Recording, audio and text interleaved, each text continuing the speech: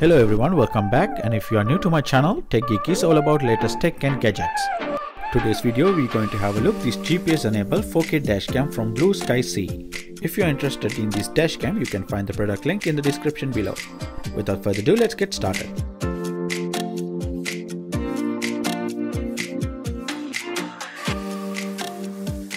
Product came inside this cardboard packaging and some key features are printed on the side.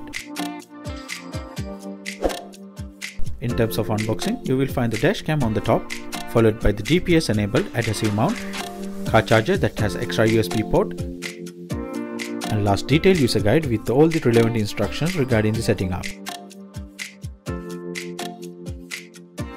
In terms of the design and the build quality, this dash cam is very light in weight and measures about 3.6 by 1.5 by 0.9 inches in size. Input voltage is 5 volt 1.5 amp and working temperature is minus 22 70 Celsius. This dashcam has Sony IMX 415 8 megapixel imaging sensor with f1.6 aperture to capture detailed and clear image of road signs and license plate with high resolution. Furthermore, WDR function records a wide dynamic range of light levels that can capture much better video even in a low light condition It supports class 10 microSD card and can be used up to 256 GB. Next to the SD card slot you can find the power button and the navigation tactile buttons on the other side. Bottom of the device you can see the reset button and plenty of air vent for reduce the heat and speaker grill. And last on the top you can find the rear camera input, power input and the camera mount.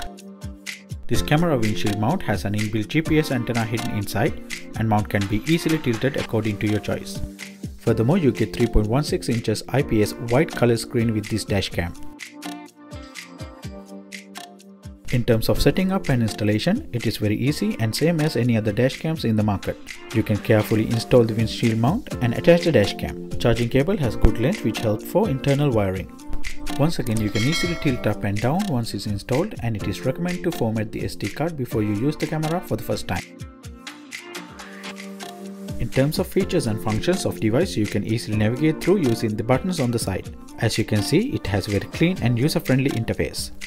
You can control and adjust the resolution level, audio level, enable date stamp, loop recording, G-sensor level, choose the parking mode you want, time lapse duration, which capture the entire journey and easy to show it to someone easily and quickly, and enable motion detection, and even you can register your number plate.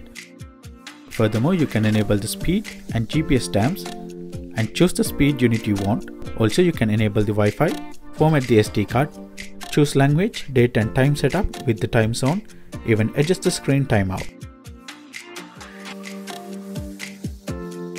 You can sync dashcam data with mobile phone using UCam Smart app which available in both iOS and Android app stores. Setting up is very easy and all you need to do is simply follow the on-screen instruction and connect the camera over the Wi-Fi. Once it connected, you can see the live feedback. Furthermore, you can customize camera settings which I already mentioned earlier in the video, such as adjust the video resolution, loop recording, etc.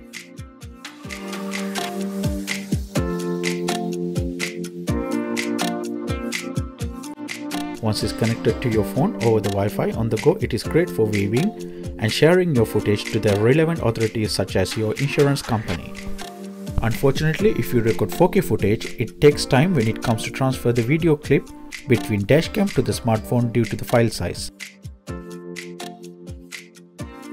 Let's take a look at some video clips I have taken. As you can see, it can capture very good detail and quality feedback. Road signs and all other moving objects are very clear to see.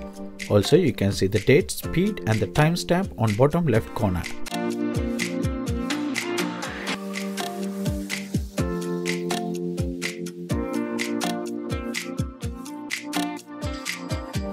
Once again, thanks to the low light capable image sensor, it can record detailed and clear video even in a night mode.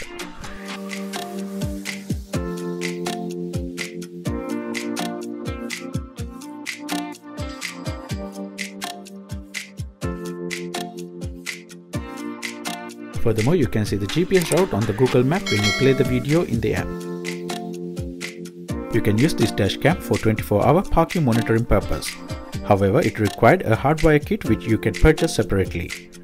Furthermore, it has three parking modes including motion detection, time lapse and buffering parking mode.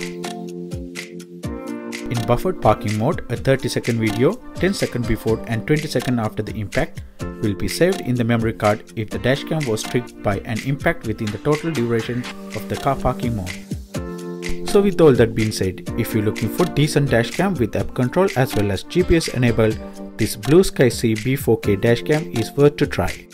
Once again, many thanks for watching and let me know what you think about this dashcam. If you like the content, please hit the like and do subscribe to see more videos like this. And see you again with another video.